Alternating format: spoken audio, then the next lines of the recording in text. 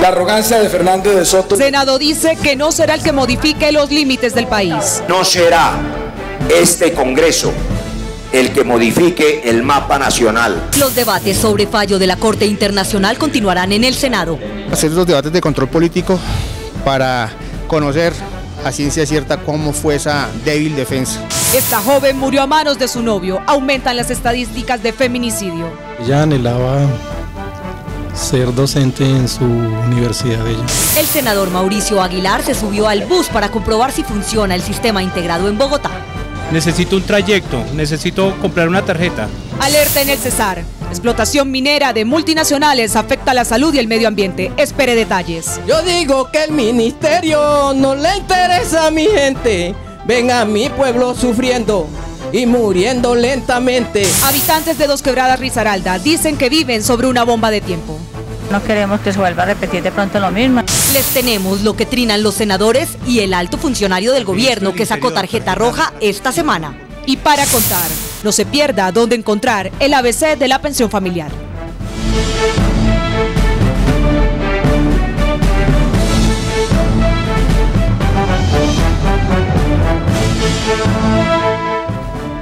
Bienvenidos, este es NS Noticias, el noticiero de los colombianos.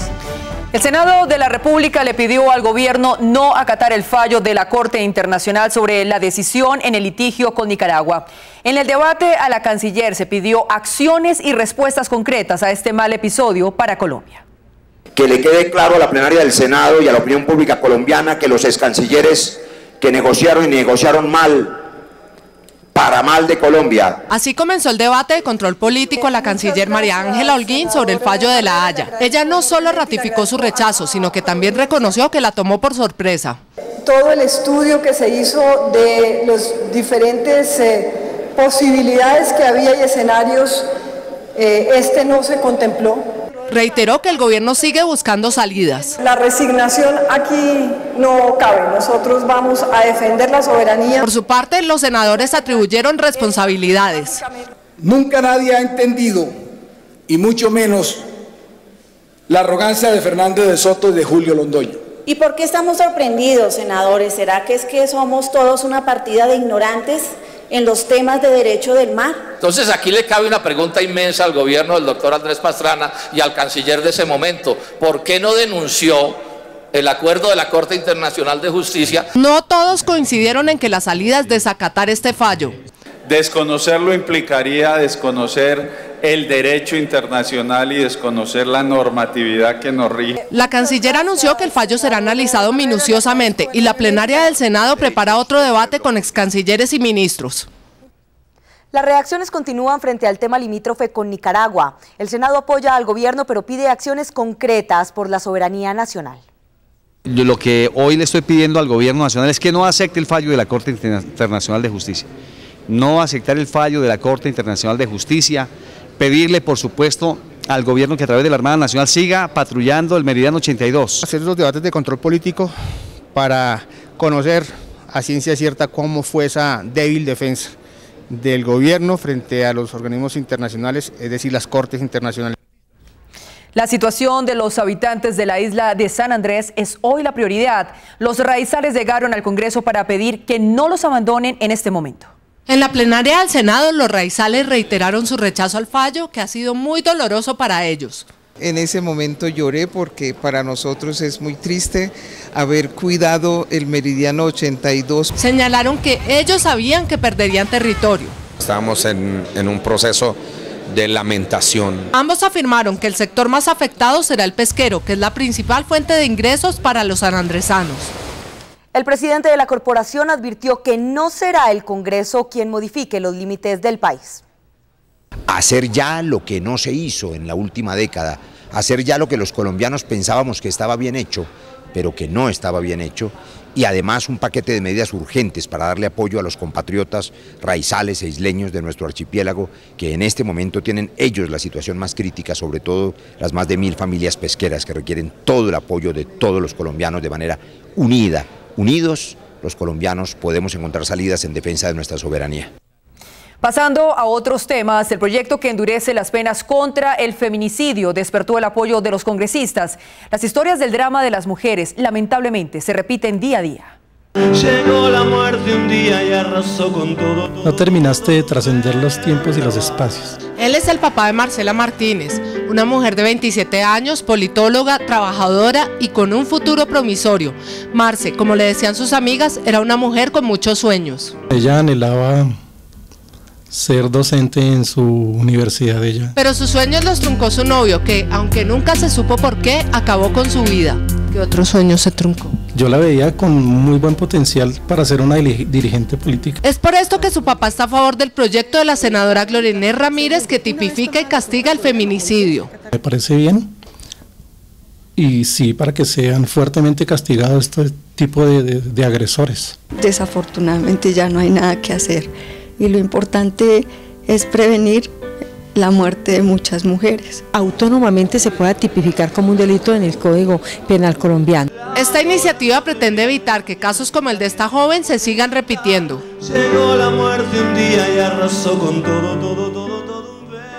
Una iniciativa del Senado pretende que las empresas de servicios públicos no cobren una o dos facturas a las personas que se encuentren desempleadas. Alexandra Guerrero nos explica.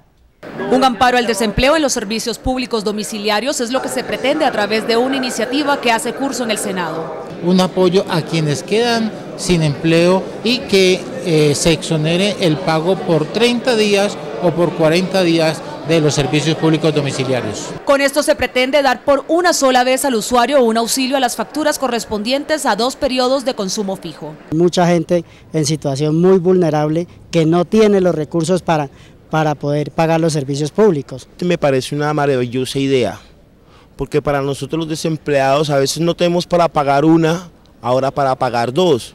Así las cosas, los desempleados no recibirían cortes en los servicios públicos, al menos como parte de un alivio a su situación financiera. Sería bueno que les, les, les dan es como un chancecito a que ellos se nivelen económicamente. Este beneficio se aplicará para personas de estratos 1, 2 y 3 que se encuentren por más de 60 días en situación de desempleo. Un via crucis fue el que vivió el senador Mauricio Aguilar, quien se montó en un Transmilenio a la hora pico en el centro de Bogotá. El congresista comprobó el drama que padecen a diario los capitalinos que usan este medio de transporte.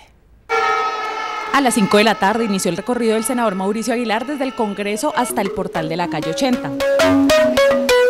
Con lo primero que se encontró fue con una gran fila para la compra del tiquete. Mira, ustedes se pueden dar cuenta, es impresionante la fila. Lo que siempre está imposible en esta estación es eh, las filas porque solamente hay una o dos cajeras. Necesito un trayecto, necesito comprar una tarjeta. Los empujones de la entrada al articulado advirtieron lo que sería un recorrido traumático.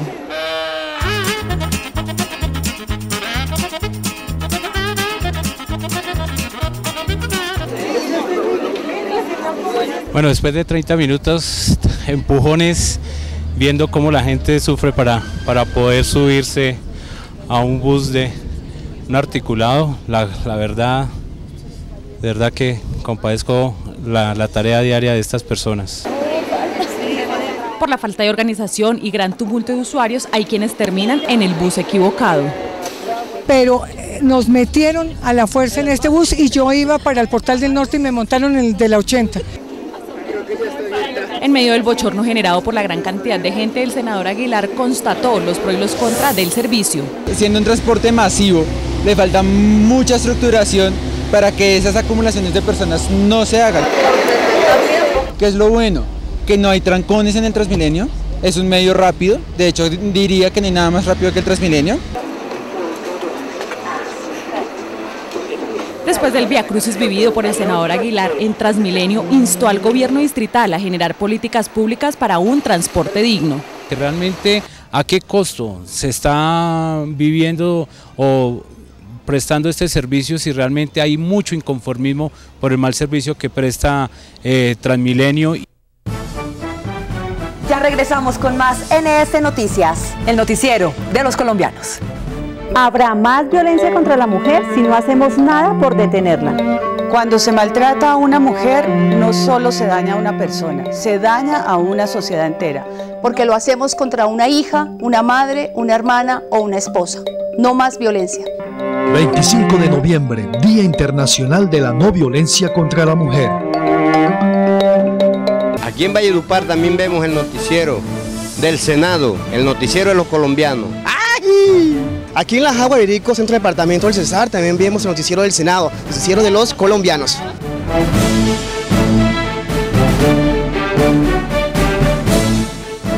Los habitantes de Dos Quebradas en Risaralda denunciaron que aún viven en medio de una bomba de tiempo. El senador Jorge Merec atendió sus peticiones. Un año después de la tragedia de Dos Quebradas en Risaralda por la explosión del poliducto que dejó más de 80 heridos y 11 muertos, los habitantes de esta región dicen que siguen viviendo en una bomba de tiempo. La tubería sea levantada para que no va a causar otra tragedia igual. No habrá forma como de ponerla en otro lado, porque mire la cantidad de gente que mató. Ya pasamos el primer susto y nosotros somos propietarios hay mucha gente propietaria por acá en la cuadra. El alcalde de ese municipio asegura que Ecopetrol va a correr la tubería, pero que se trabaja en la expedición de las licencias ambientales. Hay 64 familias identificadas que viven o tienen sus ah, asientos eh, o sus viviendas hace más de 30 años sobre el mismo trazado. Por su parte, el senador Sami Merek dice que el Congreso gestiona con el gobierno las licencias para que este traslado de la tubería se haga lo más pronto posible van a mover la tubería desde Manizales hasta Pereira, o sea, sacándola de todos los sectores urbanos de estos municipios. Los cafeteros se preparan para una marcha este fin de semana. Dicen que no reciben apoyo del gobierno y que están trabajando a pérdida. Los cafeteros piden que el Estado intervenga los insumos agropecuarios que encarecen la producción Dicen que la movilidad en el sector rural es precaria y el mal estado de las vías encarece el transporte. Asimismo, piden un precio fijo para la carga del café sin que varíe de acuerdo al dólar. Estamos en una crisis eh, totalmente abierta como consecuencia de las políticas centrales del gobierno. El costo de, una roba de café o una carga de café está por, por, por debajo más o menos de un 30% o más tal vez. Que si no hay un subsidio a nivel nacional como en otros países. No, nos seguiremos trabajando a pérdida. La explotación minera a cielo abierto en el Cesar no solo ha causado deterioro al medio ambiente, sino tiene en alerta a los habitantes de varios municipios por las enfermedades que se empiezan a generar. El informe con Carlos Siguita.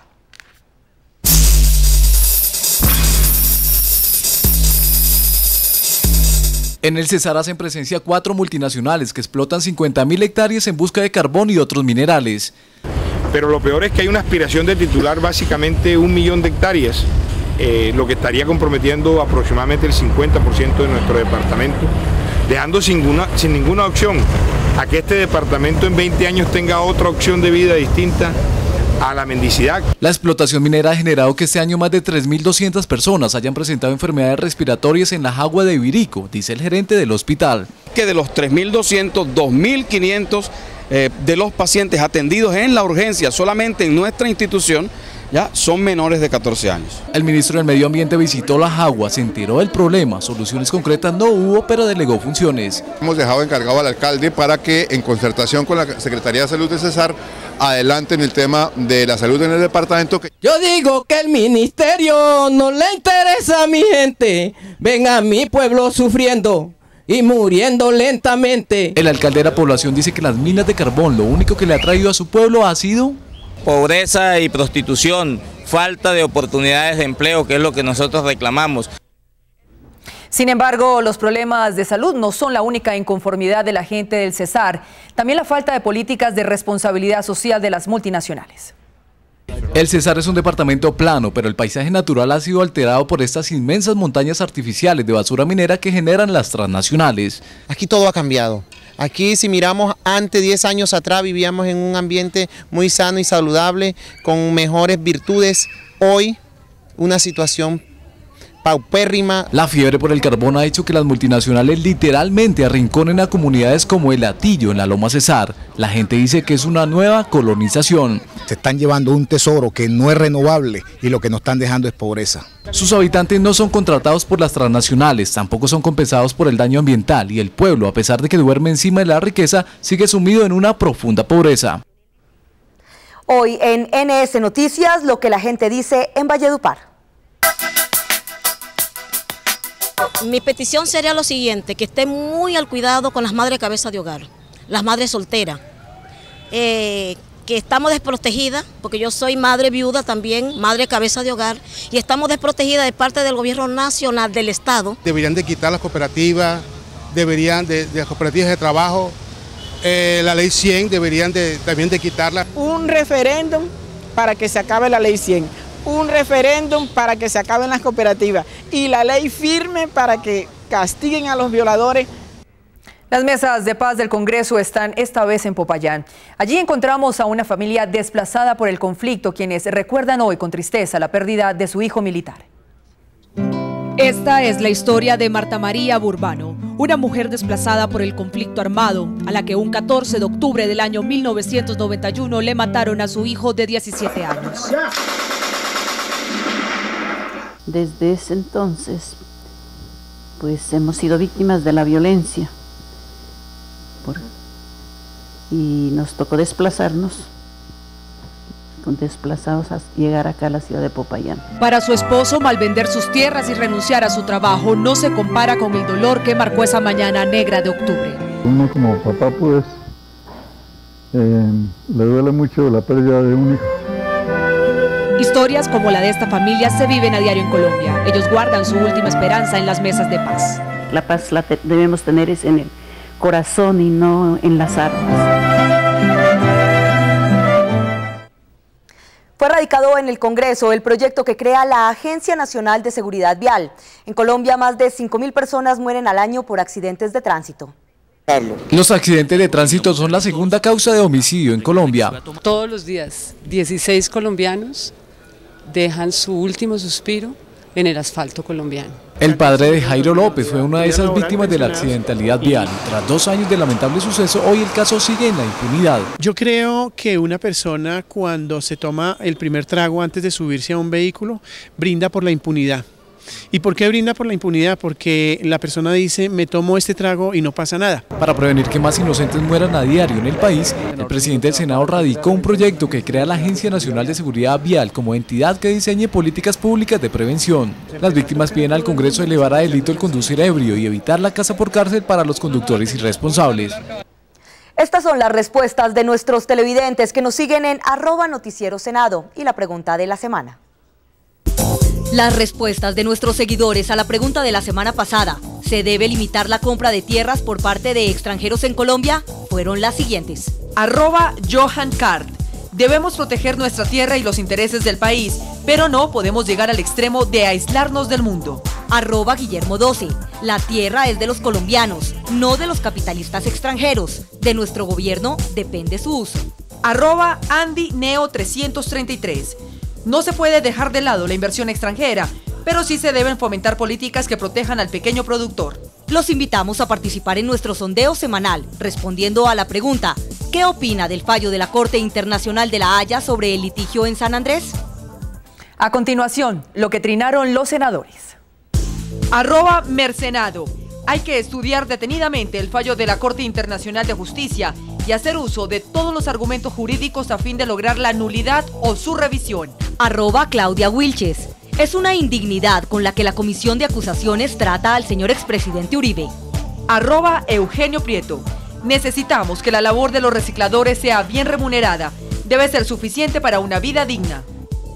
Llegó la hora, Gloria, de la tarjeta roja. De la tarjeta amarilla. La figura de la semana. ¿Qué dicen los senadores? Bueno, yo le saco tarjeta amarilla a la Corte Internacional de Justicia. Me parece que en el fallo que tenía que ver en el diferendo limítrofe entre Nicaragua y Colombia, desbordó sus competencias. Al ministro del Interior, tarjeta roja por no saber manejar adecuadamente el tema de la consulta, porque en el tema afrodescendientes se está dejando por fuera 1.200 organizaciones de base en el país. La ministra de Transporte porque al fin el gobierno está entendiendo que el tema del factor social es importante en todos los grandes proyectos de dobles calzadas que se están realizando en el país. La figura en este momento para mí es el ministro de Hacienda, porque considero de que ha seguido unos lineamientos importantísimos en materia del manejo económico del país. A continuación, los temas para contar con nuestra directora Azucena Liévano. El senador Manuel Enrique Rosero dijo que hay ausencia de una política de Estado en las fronteras y el mar y advirtió que el sur del país no se puede descuidar. Yo creo que llegó el momento en que los colombianos nos paremos firmes y defendamos nuestro territorio. El senador Jorge Ballesteros, autor de la ley de pensión familiar, quiere que todos los colombianos conozcan con exactitud de qué se trata esta ley y qué beneficios pueden tener. Por eso sacó el ABC de la pensión familiar. Está colgado en mi página www.senadorjorgeballesteros.com. La abogada Astrid Salamanca fue elegida nueva directora administrativa del Senado. Ella tiene claro hacia dónde va su gestión. Modernizar el Senado, desde el punto de vista tecnológico y desde el punto de vista administrativo. El senador Juan Córdoba abogó por la protección de los animales en los circos. Él dice que se pueden tener, pero no maltratarlos. No queremos acabar con los circos, simplemente queremos proteger del maltrato a estos animales, a todos los animales. La próxima semana más temas para contar. Bien, y hasta aquí la información. Gracias por su compañía. Somos NS Noticias, el noticiero de los colombianos. Hasta pronto.